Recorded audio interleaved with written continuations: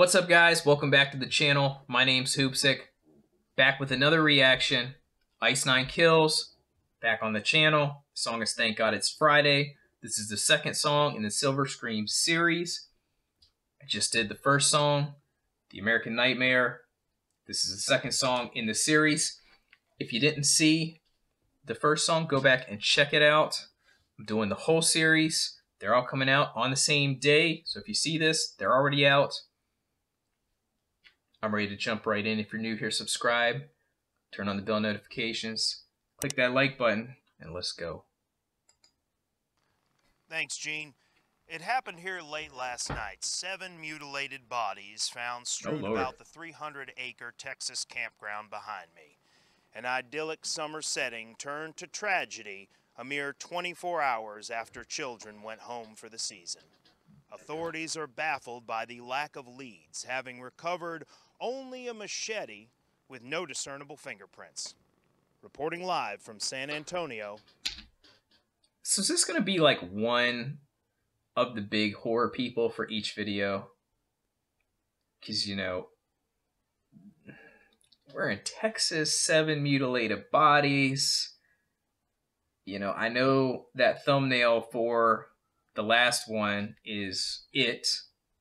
You know, the it per picture. And then, you know, the last one we had. I think I think I see what's happening here. I'm Roy Merkin. Back to you, Gene. He's Roy Merkin. Of course he is. I got it. I figured it out. Good for me.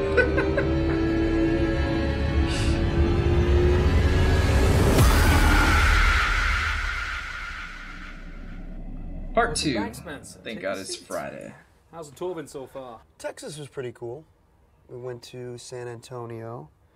I tried to piss on the Alamo, but we ran out of time. Trying to do like an Aussie thing, you know? I sense there's a butt coming. Well, the dreams are still there. Even with the diazepam. Yeah. It lasted for about a week, I want to say. But then as soon as the tour started, the just- same imagery as before with the girl? no. Well, the girl is there, but there's another girl who looks a lot like your colleague, Dr. Stonebridge. And now I'm in the dream, and my band is too. That's an interesting change. What are you doing? It's really weird, but we're all camp counselors, and we're shutting down this camp because it's the end of the season.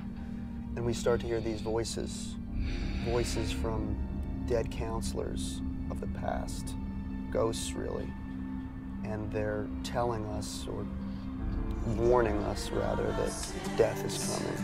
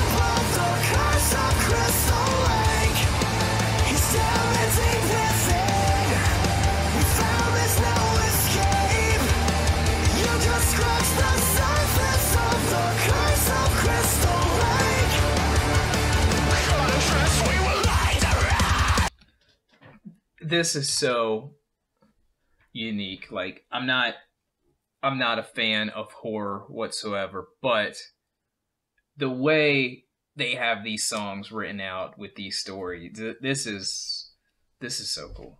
This really is. And this song this song's good. Like the last one.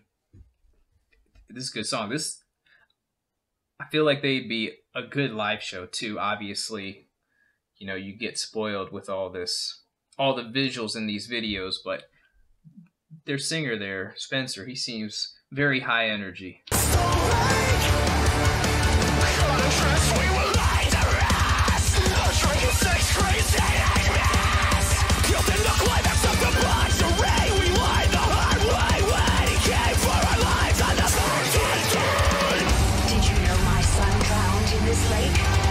Should have been supervised, counselors were off having filthy sex.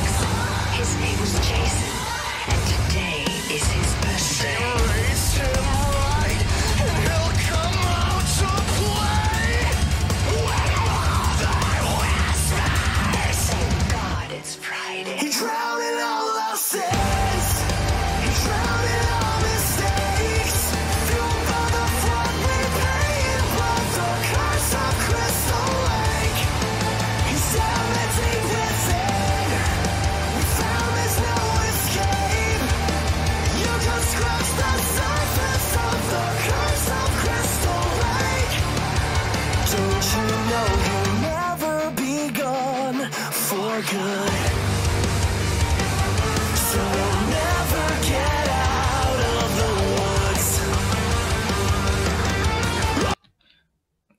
Dude has such good cleans too. It's, this, this is a good band. I like it.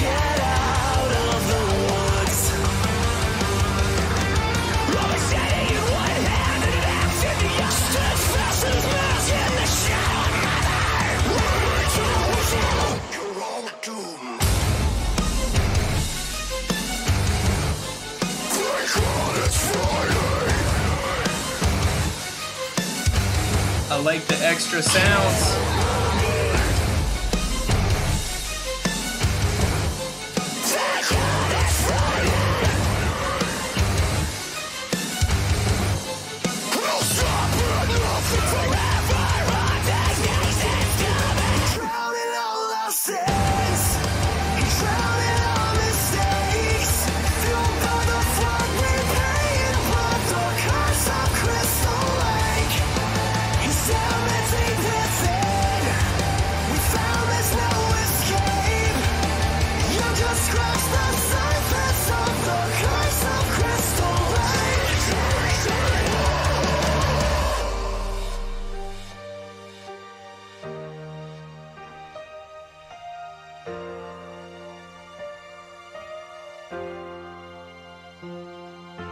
Who's behind that mask?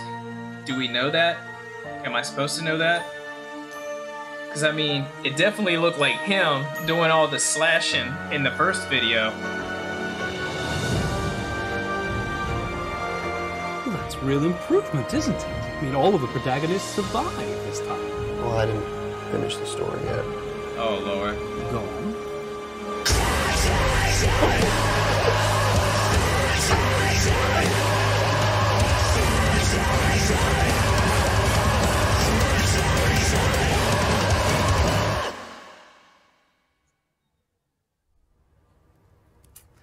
Well, that's not exactly the soothing kind of story that helps with uninterrupted sleep now, is it? No, it isn't. I'm surprised I didn't jump through the roof when that dude came out the Maybe get water. Dr. Stonebridge to up my dosage of diazepam, just to get through the tour, maybe.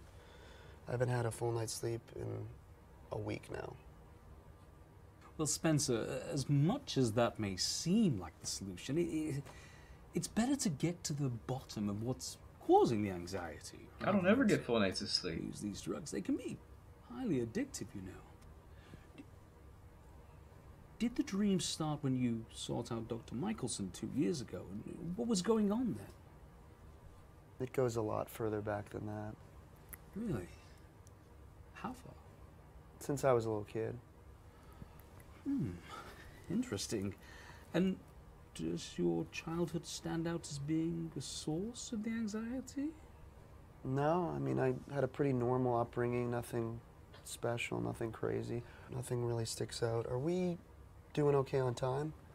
Looks like we're almost at the one hour mark. Well, sure, but I have Well, I plenty don't want to do that. time. It's not fair to go over. I'm recording in LA next week, so let's say the week after that, and then we could sort of get to the bottom of this, take it from there. Fair enough. Well, why don't you just see Karen on the way out and we'll set up a time for us to get to the bottom of this, okay? Thank you, Doctor. Thank you, Spencer. See you in two weeks. Knock, knock.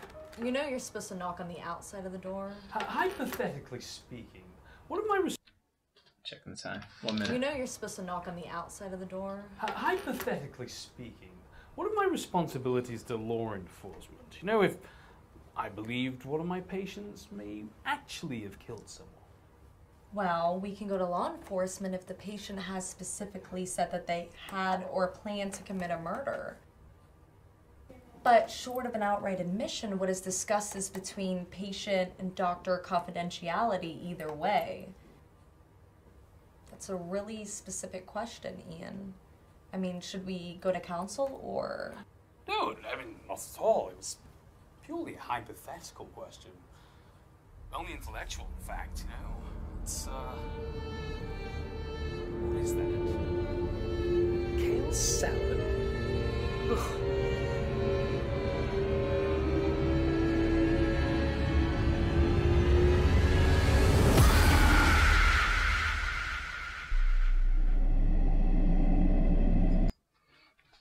Part two, Ice Nine Kills.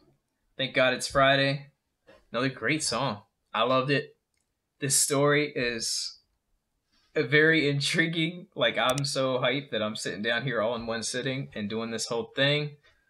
Um, if you didn't see the first one, go watch it. Uh, there's three more to come. If you're new here, subscribe, hit the bell notification, the like button, new videos daily. Thank you so much for watching.